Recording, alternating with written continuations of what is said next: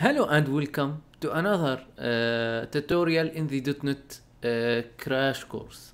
So now in this uh, tutorial we will talk about how to connect our own project to the uh, to the database where we can save and retrieve data and do uh, all the things uh, we can do to have data stored permanently somewhere so we can retrieve them, do operation on them and so on, which is an essence or a major part of your application and working with your application. Now, before we continue, please check the description below for the developer success guide course, where we give you three top secrets for you to success as a developer. It's for free. You will receive uh, three free emails. Uh, and many valuable contents by you like joining uh, us in the link uh, below. So check the description please and hopefully you will find some value. Now let's start looking at our own application. Now what we're gonna do we're gonna use sql server as our own data storage. And you are not limited to sql server. You can use any uh, database connection provider that you want uh, and it will help you connect to the uh, database. So now, let's first thing first, go to the application over here and what we're gonna need to do, we need to install some NuGet packages.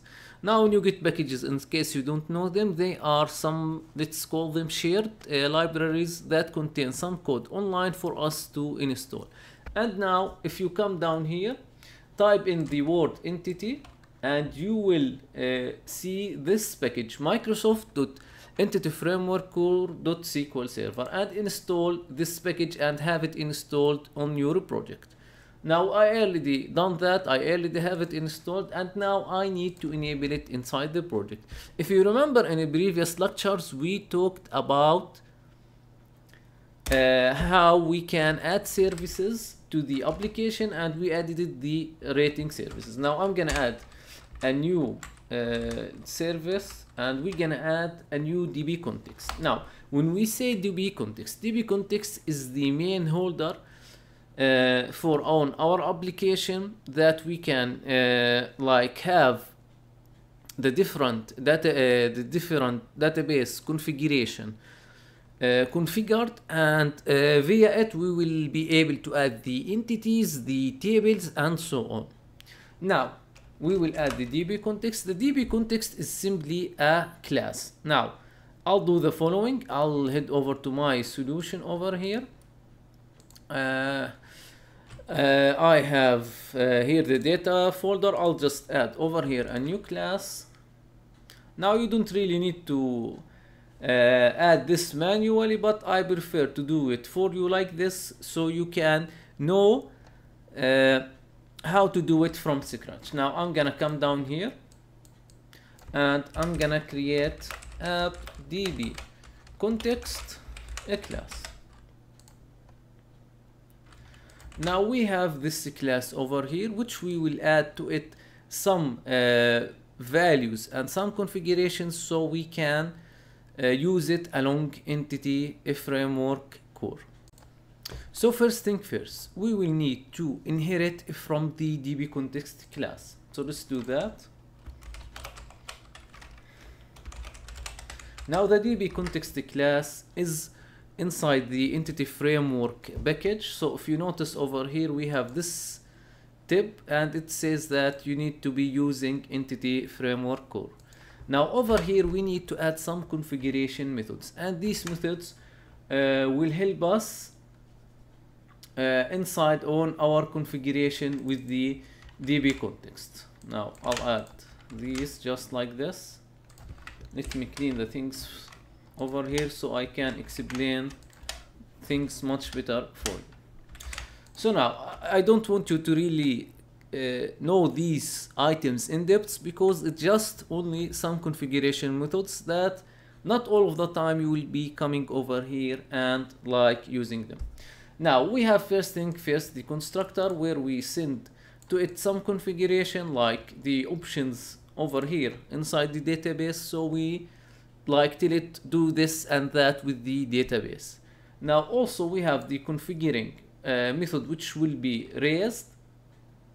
And uh, like it will have uh, some also configuration for us over here like some different configuration other than the uh, options over here. And we have the model creating which will help us build our own database model.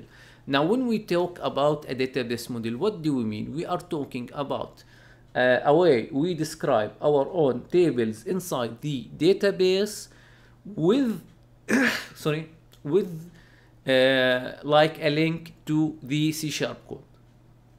And now uh, over here we will be uh, like calling the the methods over here and we will be like declaring our own uh, tables and so on. Now there are different ways to declare the tables over here. I'll be using my own way and you are also free to do whatever you like but my way have some on certain uh, let's call them uh, some some advantages. Now i need to add my uh, app db context over here to the class. And over here we need to pass uh, some uh, properties so we can have our own uh, model and db context class understand what we are doing and like know the database connect to it and so on. So now uh, over here let's come let's pass these options i'll just uh, copy paste them.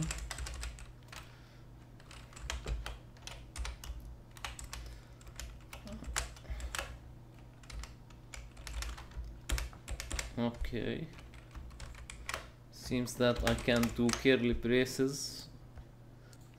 So uh, here is the configuration we will need. If you see with me i'm calling options arrow lambda expression over here and I'm saying that I want to use SQL Server. Now here can be Verized, like you can use some other providers for other databases as well. Now I'm gonna uh, need to do this import, just uh, like hit control and dot, and it will show you that you will need to use entity framework core. And now we have here what we need to connect to the database. Now, before we continue, we need to make sure that we have the default connection defined inside our own settings. So uh, I'll go uh, over here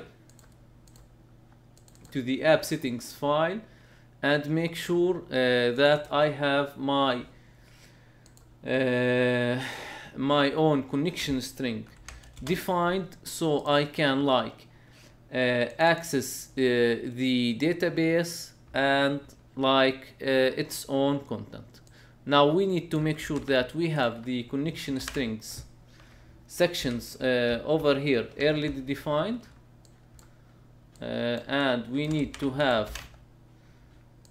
uh, the uh, the default connection uh, value defined so we can have it available for us to access so let's take the default connection. And we need here to add the connection string for on our own database. Now after we add the connection string we will be able to connect to the database and have it uh, like generated. So I have prepared the connection string. Now uh, each device and each uh, PC and like each uh, place will have its own unique connection string. You can use like some online tools to generate the connection string for you. Now after I've added the database connection and I have my connection up and running I'll I'll do the following. I'll head over to the database. Uh, let me show you it So let's head over to the uh, SQL server. Now we're gonna need to add a new table. Now I have this students database. I'll add uh, a new uh, student list table. Now I'll I'll need to add a new ID over here. I'll make this my primary key. And I'll add uh, like uh, full name column.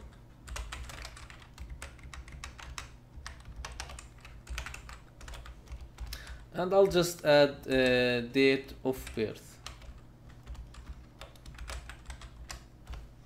Okay. Or maybe date. Okay so we have these properties for our table and I'm gonna call it student list.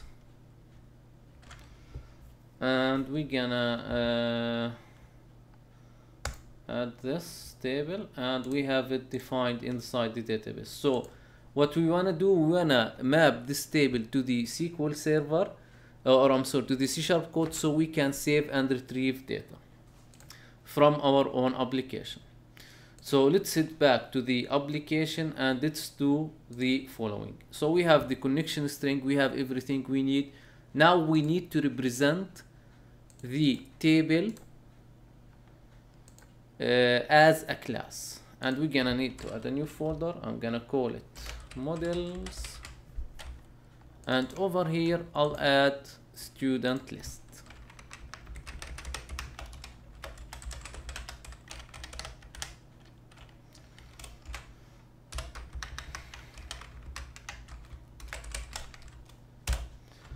And over here I'll need to add the properties for this uh, table the same exact properties inside the database. I'll have them over here with the correct data type. So I'll have here the full name and I'll have here also the date time of date of birth. And I'll need to add this uh, data annotation so I can have uh, my uh, table uh, my uh, let's call them uh, this property to like indicate that this is my primary key of the table inside the uh, database.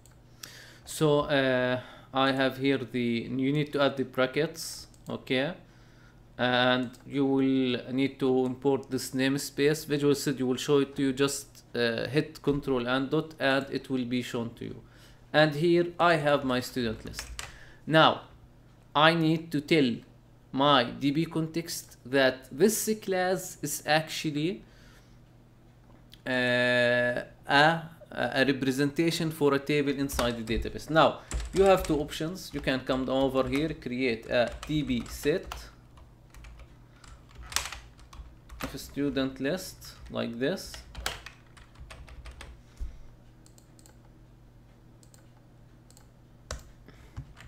And you are all set pretty much that's that's the needed work and you can also use on model creating to have the data uh, data base table defined as a uh, entity for the uh, C sharp code. So now let's actually try to test this. I'll head over to one of the pages. Uh, actually, I'll come uh, over to this database or I'm sorry this uh, this page. Let's try to duplicate it. I'm gonna call it add student.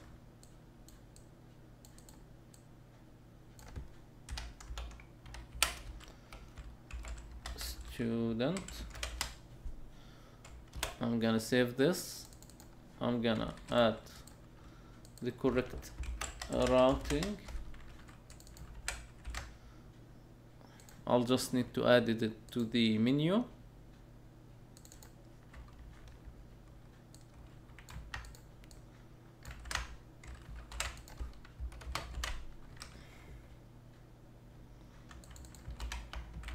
oops oops uh, we need to call it add student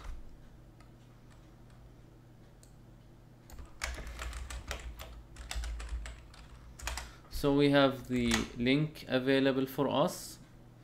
Now uh, what we need to do we need to come uh, over here. Now uh, we can create and that's what you should do. You can create a service like this. And inside this service have the database context defined. So uh, I'll do that really quick. Or uh, like over here I'll just come uh, add the iStudent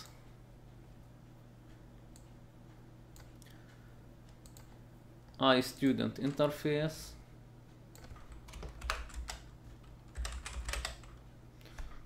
I'm gonna call it the iStudent service so we understand it.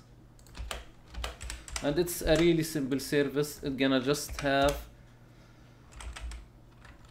a simple method of adding uh, uh, entities to the table. So I'm gonna add void uh, add. It's gonna just take a student list. I'll need to add the import. And just like that I'll add uh, a student service class. It's quite simple.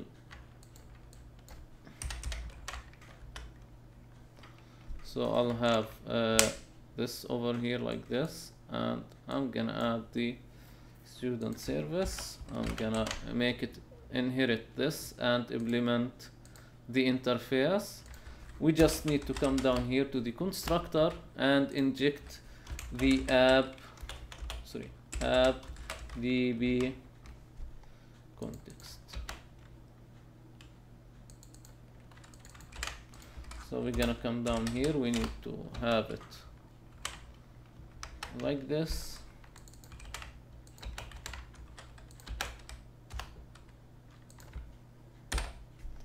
Like this like this like this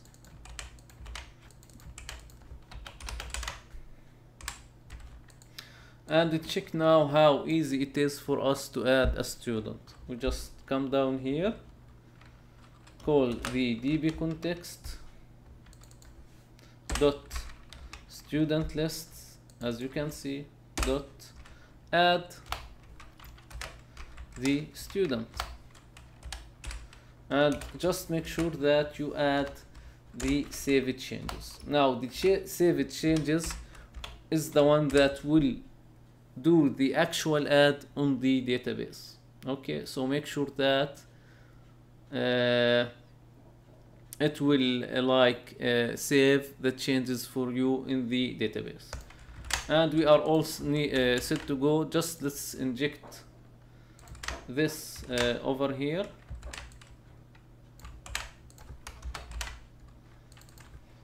My student service with the student service. And we are all good to go. Let's inject this over the add student page.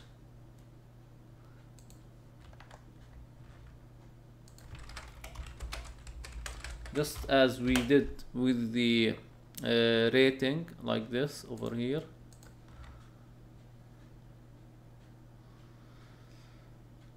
Uh, oops. Uh, uh, like this like this. Add the inject the name of the service and the name of the injection. So i student service. Student service. Now this uh, need to have its own referencing so I'm gonna add to need to add using the namespace of the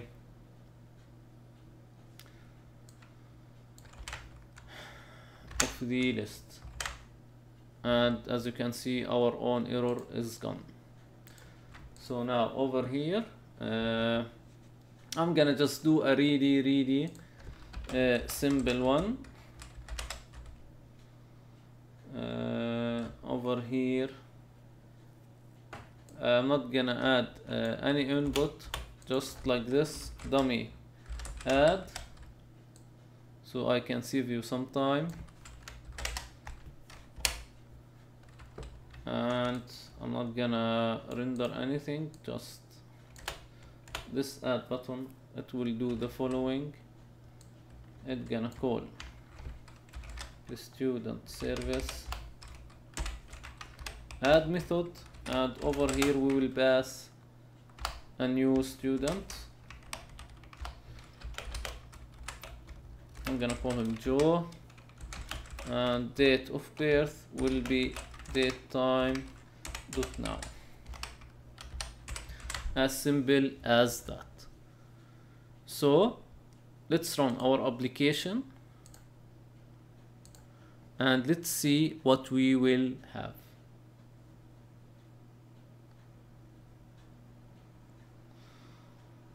so uh, I'll head over. I'll show you now my screen. Okay just a second. Uh, okay so we have this error. That is because we uh, used a wrong injection. So let's head over here to the startup. I'll add not singleton because we cannot add singleton. Let's add uh, scoped and we shall now uh, have the error gone. Hopefully. Now let me share with you my uh, browser. Okay I can see the page. So I'll share with you my browser. So you're gonna see uh, on the uh, browser hopefully you, ca you can see my browser. Okay. So over here if I go to the add student uh, I'll do the following. I'll hit the add button. Okay. Now uh, okay. So we have this uh, error. It says that uh, invalid object name student lists. So we have the student list uh, table called uh, as student lists. Okay so if I hit back over here I need uh, I'll need to share with you oops I'll need to I'll show you over here. Just uh, the name of the table is uh, wrong. Now if you just head over to the output of your uh, debug. If you can see over here you can see the actual SQL statement that is created. And the student lists is not the name of the our table. It's called student list. So that was the issue. Let's run it again. Okay we need to just modify the name. Let's run. And you will see that we will see the actual data in the database let me head over to my browser. If I come and add a student now uh, you, you will not see anything for sure because we did not add any output but if I uh, head over here to the SQL if I query the database we can see our own object that we just inserted okay so the connection is a little bit slow.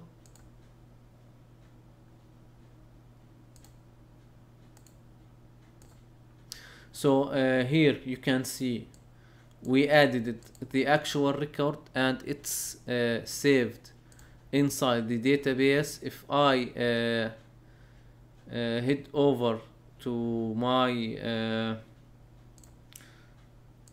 to my screen over here and I show you the output again. I want to show you that you can see the actual statement. Unfortunately it seems that it didn't show over here. But uh, you will be able to see actually the statements written uh, inside the database and like uh, the data will be saved to your database so that's how you will be able to connect your database to your application save data and so on. And we will do more uh, tutorials on how to show data how to bind from form and so on. So please stay tuned and make sure you subscribe to our channel. So thank you for watching with me this tutorial. I hope you enjoyed it. Uh, please check the description below to get the free uh, developer success course and also in the description we have some nice offer for use thank you for watching and i hope i'll see you in the next video of this series